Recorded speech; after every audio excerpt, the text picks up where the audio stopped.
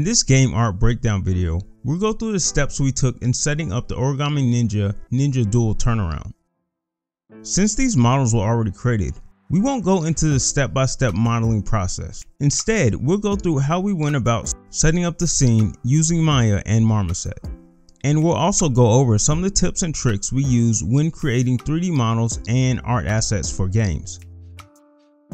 So the first thing that we're going to do is we're going to separate these and we're going to create a high poly so we can use that to bake down the high poly mesh for our texture. So we're going to first separate these pieces out. So normally if we were using this in our game, instead of having these huge large chunks of our model, uh, we'd separate these pieces out into individual pieces. For example, we'd go in on on this clothing area and we'd separate all these pieces out individually so we don't have any information from one asset being baked onto another asset. For this since it's just essentially for this turntable we just combine all these together and we just bake these as one. But in normal circumstances and best practices it's best to essentially explode your model and bake each of these pieces out individually opposed to baking them right on top of each other if we go to 3 or smooth view that we're losing a lot of these these pieces where it should be fairly sharp. So we're just going to add edges and we'll reinforce those edges with edge loops. And one of the things that we like to do when we're creating a essentially a high poly version is we'll kind of add those bevels in areas that uh, we want the bevels to be so we don't get those kind of hard creases. We get a very kind of smooth uh, really good looking normal map So we'll do this for all of our objects, jumping back and forth to using our smooth view just to see how, how our objects are going to appear once we smooth them out.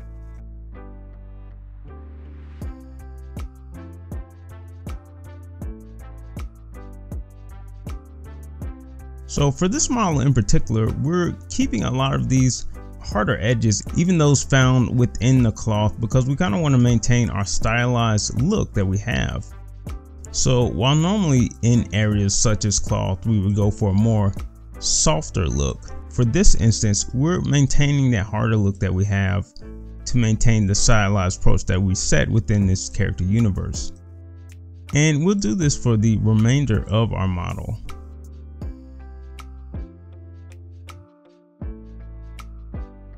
So at this point, we've finished creating our edge loops across our model and we can go, go to our smooth view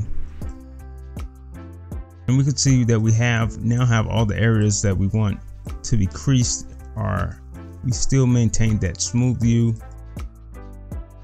and for our hair as well and adding just a few more little details to accent different areas within our character as well. So once we're, we're happy with that, how that appears, we can then go and we can smooth out our character in our models. We can grab these, increase our divisions, and then we can then select these and go and we can export these out as an FBX. We'll also do the same for our low poly and we will grab those and we're to export these as selected as the FBX as well. Next, we use the rig character and Maya's time editor to find a pose within our animation that we're happy with. So we began with our fully rigged character.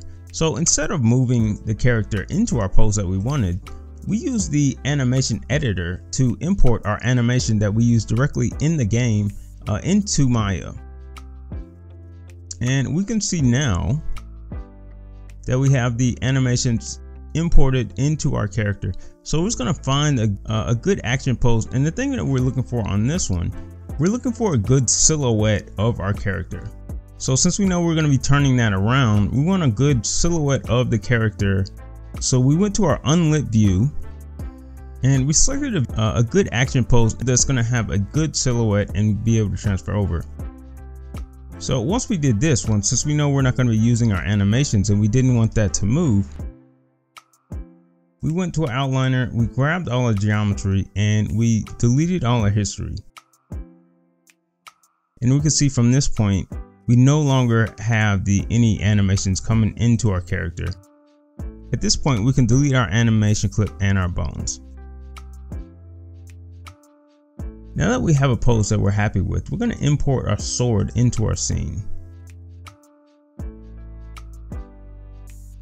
Next, we're going to grab all our game objects and we're going to group these guys together. From this point, we're going to import our rigged ninja model. So for this model, instead of using our time editor to find the animation, we just simply pose this character. So once we have a pose that we're happy with, we selected all our, our geometry for our ninja character and we deleted our history. From that point, we deleted our bones and then we grabbed our ninja character and we separated our polygons. Grab the top half of the ninja character and combine that back together then we selected the bottom pieces of the ninja character and combined those back. And from that, we put our top on a layer as well as the bottom piece on a layer as well.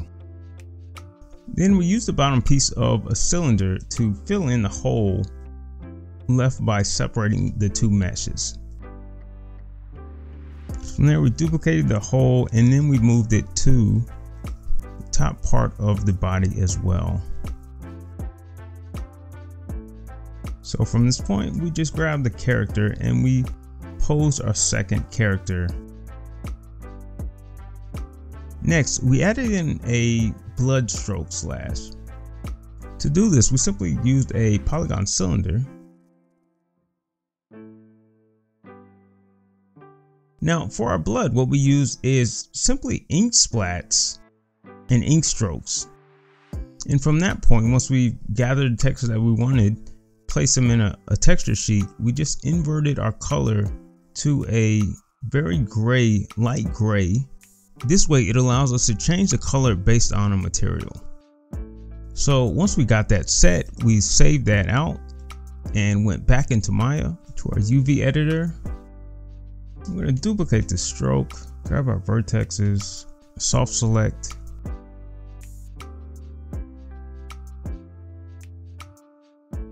Next, we're going to get a polygon plane, go back into our UV editor. We're going to use this as our blood splatter. And we're also going to throw one behind the character where the sword is. So before we go to Marmoset, the last thing that we're going to do is we're going to create a ground plane. So we're going to use that just by using a polygon, make it fairly large. And we're just going to increase our polygon so that it looks pretty smooth and then just delete these faces that are at the bottom. It's going to create a new material and we're to go to our UV editor and just lay that out so it's taking that whole UV area.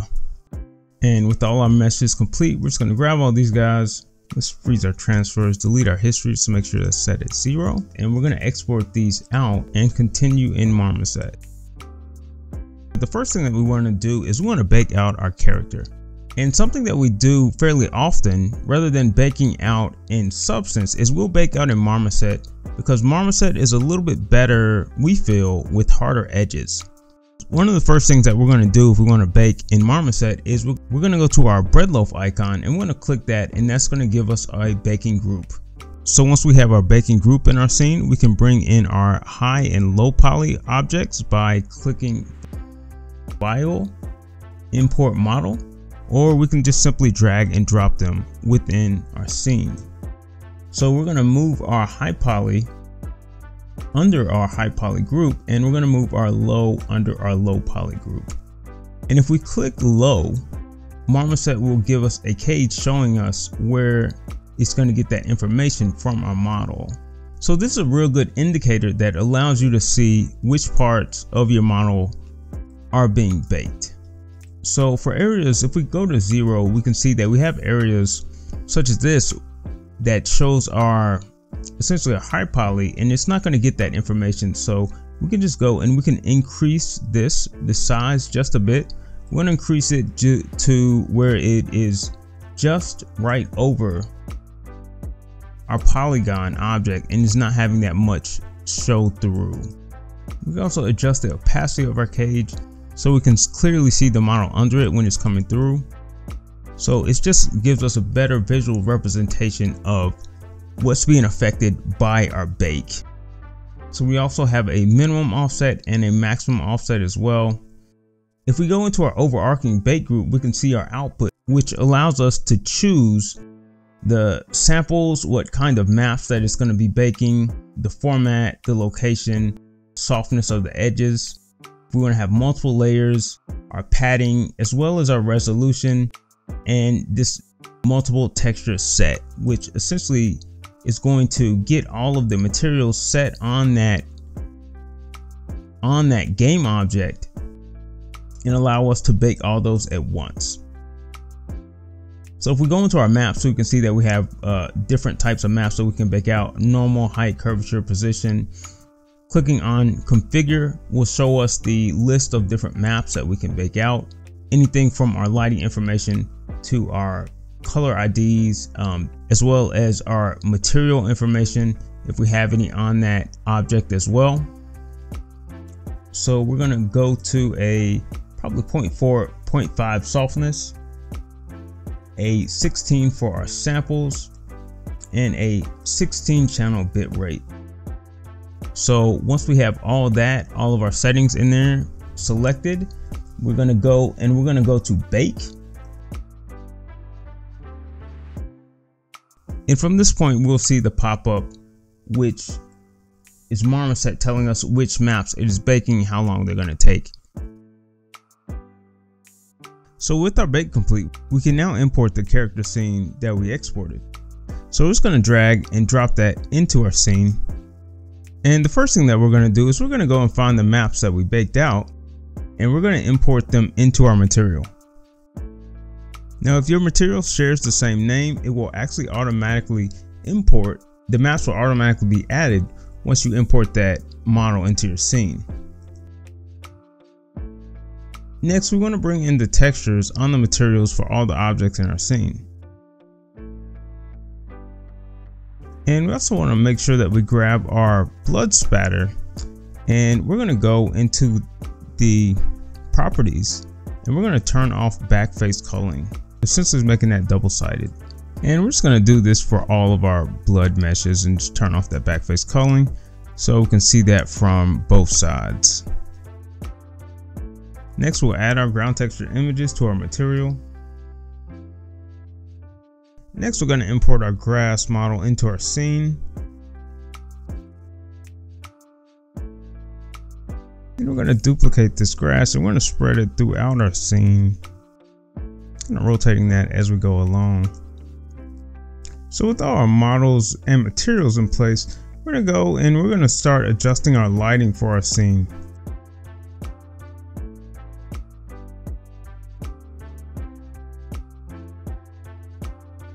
So now we're gonna move to our camera and our post-processing effects that we use to create the scene.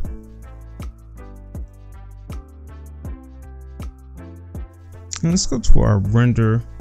So we're going to enable or enable global illumination, increase our occlusion detail, to adjust our brightness for global illumination so we get some of that, we get a lot of that red reflecting around in the scene. Now let's go to our camera settings and we're going to adjust our lens and add a depth of field